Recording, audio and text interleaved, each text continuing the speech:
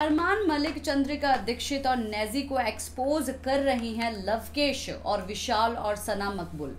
ये discussion room में सब बातें चल रही हैं और इनकी बातें जो है बाहर खड़े होके बाथरूम एरिया की दीवार से कान लगा के अरमान मलिक और जो रणवीर है वो सुन रहे हैं। अब जो है काफ़ी बड़ा बवाल जो है घर में चालू हो रहा है। तो चलिए मैं सबसे पहले आप लोगों को बताती हूँ कि आखिरकार यहाँ पर कौन सी बात जो है अरमान मलिक और रणवीर ने सुन ली है।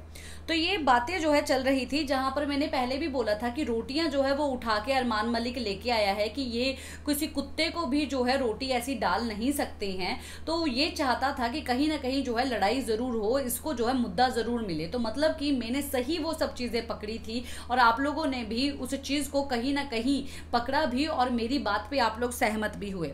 अभी रही बात अरमान की तो यहाँ पर सना मकबुल जो है ये बात बोलती है कि भाई अगर तू रोटियाँ बना रहा होता है आ, आ, विशाल तो थोड़ा रोटियाँ देख के बना लिए अगर जलती जलती है वो कच्ची रह जाती है और फिर जो है कुछ ना कुछ बोलता रहता है अरमान।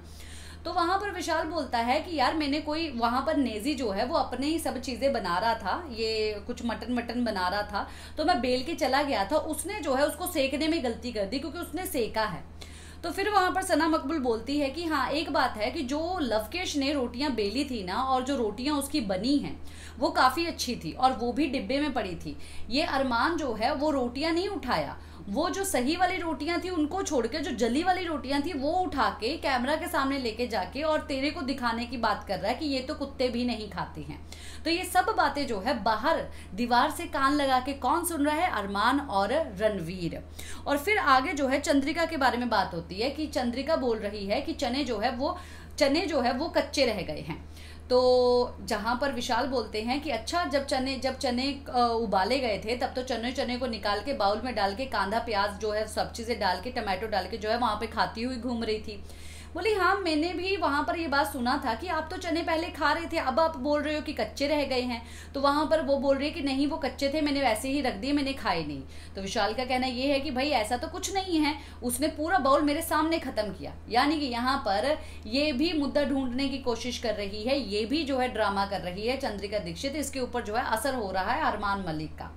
आगे आती है नैजी की बात।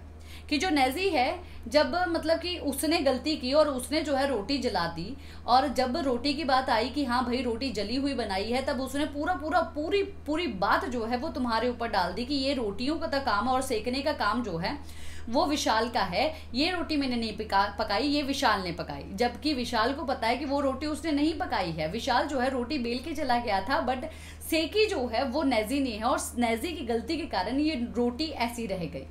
तो ये सब लोगों के चेहरे जो है जो सामने आ रहे हैं, ये लोग इनके चेहरे एक्सपोज कर रहे हैं, वही चीज़ जो है बाहर खड़े होकर अरमान और रणवीर सुन रहे हैं। अब देखते हैं कि आगे आखिरकार इस घर में माहौल क्या चलता है। लगातार आप तक पहुंचाती रहूँगी। घर के अंदर की अपडेट और गॉसिप जो सुनते रहिए। कैसी लग रही है मेरी गॉसिप उसके बारे में भी ज़रूर बताइए।